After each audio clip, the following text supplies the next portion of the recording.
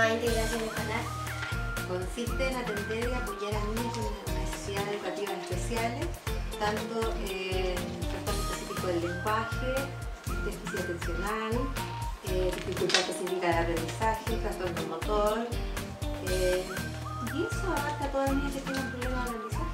¿Desde qué año funciona el programa y cómo se creó? Eh, desde el año 2007. Se creó, bueno, primero eran grupos donde se apoyaban a las niñas que tenían dificultades de aprendizaje, pero a partir del año 2007 se creó un programa de integración escolar. ¿Quiénes componen el PIE? Bueno, el PIE lo componen seis educadoras diferenciales, el fonoaudiólogo, el kinesiólogo, eh, la psicóloga y esos, esos son todo el equipo multidisciplinario del PIE. ¿Cómo funciona el programa aquí en la Escuela Brasil? Cada educadora diferencial tiene a cargo un curso y atiende a las niñas tanto dentro de la sala, el aula común, como en la sala de nosotras, que es la que estamos ahora.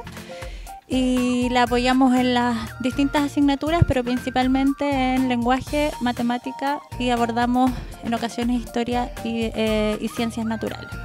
Y les vamos brindando guías, les entregamos material de apoyo, cuadernos eh, individuales, dependiendo las necesidades que tenga cada una. Y eh, tenemos también un trabajo colaborativo con los profesores para poder abordar de mejor manera eh, las necesidades que presenta cada una de ellas. ¿Qué mensaje entregarían a la comunidad escolar?